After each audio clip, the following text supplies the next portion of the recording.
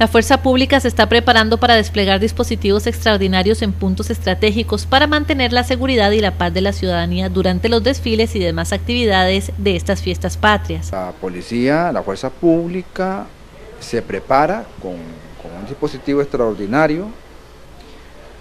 Vamos a atender los eventos cívicos desde la avenida de la Antorcha, la recepción que se hace en Villamil, y a entregarla hasta lo que ya es fuera de nuestra jurisdicción, que es este el sector de Piedras Blancas, por ahí que va para la frontera sur. El objetivo es mantenerse alerta ante cualquier disturbio que pueda ocurrir, tomando en cuenta la cantidad de personas que se aglomeran en estas fiestas.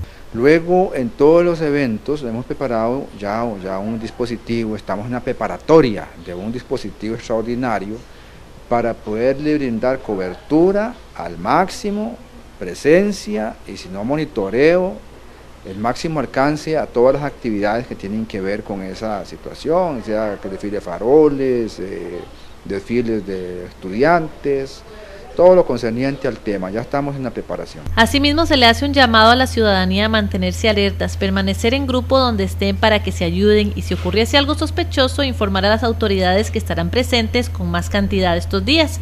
Para ello, se van a desplegar la mayor cantidad de policías posibles en todo el cantón generaleño. Bueno, tenemos... Eh, tal vez un número exacto no, pero sí tenemos, digamos, hacemos un recurso extraordinario, que sí, se busca una forma extraordinaria para tener en ese día eh, la presencia del máximo y oficiales presentes para atender el evento.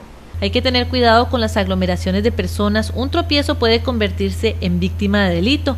Las aglomeraciones de personas constituyen una oportunidad para la comisión del delito, especialmente para los carteristas, los robadores de bolsos y celulares. En estos desfiles se deben tomar todas las precauciones posibles y no cargar con nada de valor ya que los empujones y tropiezos que pudieran resultar naturales también son un modus operandi para el hurto o robo en tales espacios.